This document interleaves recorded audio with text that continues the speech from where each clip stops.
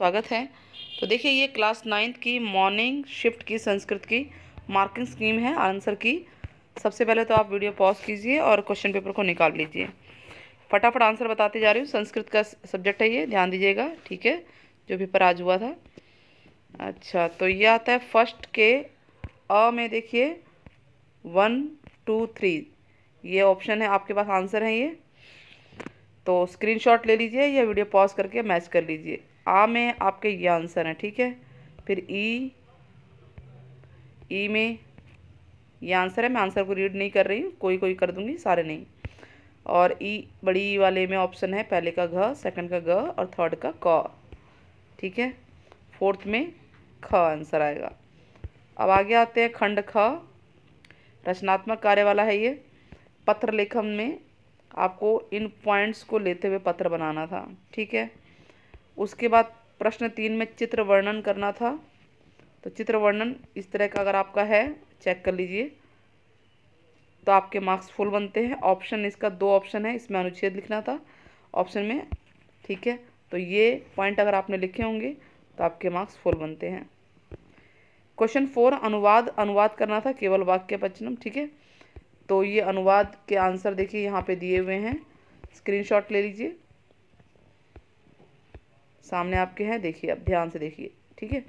ग में देखिए, संधि विच्छेद करना था तो ये संधि और यह संधि विच्छेद दे रखा है आपके सामने, ये संधि है, संधि विच्छेद, ये आंसर है, ठीक है?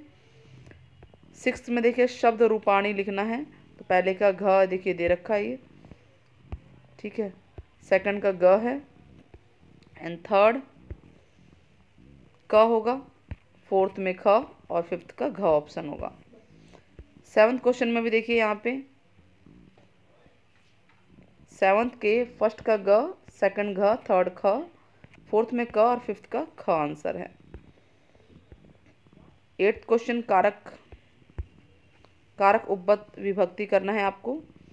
तो एट्थ का ग, पहले का, सेकंड का ख, थर्ड का क, फोर्थ का घ और फिफ्थ का क आंसर है।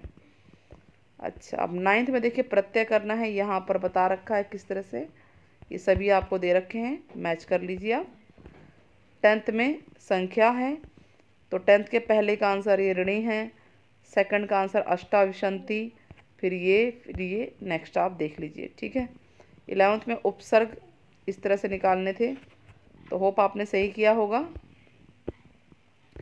ट्वेल्थ में अव्ययानी बताना था तो ये आंसर है आपके सामने है, ये आंसर, स्क्रीन पे।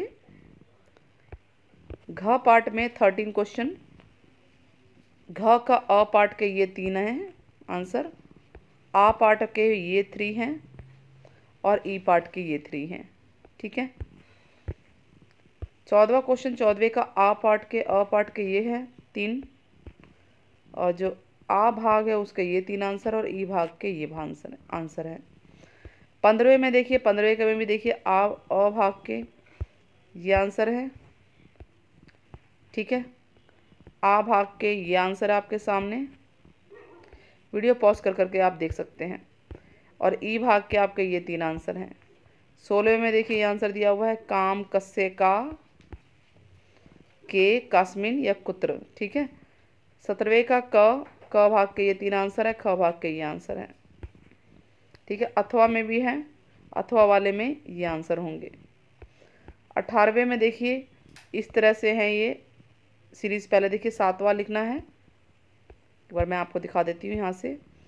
फिर second fifth eighth third first और उसके बाद सिक्स और फोर्थ नाइनटीन का क में देखिए।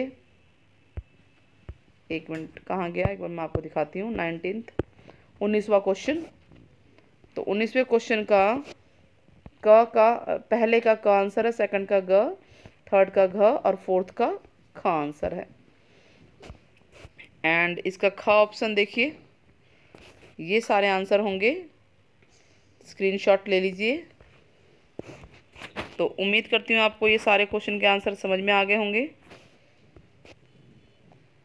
तो चैनल को सब्सक्राइब ज़रूर कीजिएगा क्योंकि अब आप टेंथ क्लास में जा रहे हैं और आपके लिए ऑल द बेस्ट तो टेंथ क्लास के सभी सब्जेक्ट की वीडियोस आपको हमारे चैनल पे प्लेलिस्ट में मिल जाएँगी। ठीक है? और आगे भी हम वीडियोस अपलोड करते रहेंगे स्टार्टिंग से ही अभी। तो आप लोग चैनल पे रहेंगे तभी आपको नोटिफिकेशन मिलता रहेगा। तो आपको पता रहेगा कि कौन सी वीडियोस आपके लिए अपलोड हो रही हैं। ज़रूर देखिएगा सब्सक्राइब करना नहीं भूलिएगा। फिर मिलते हैं बच्चों।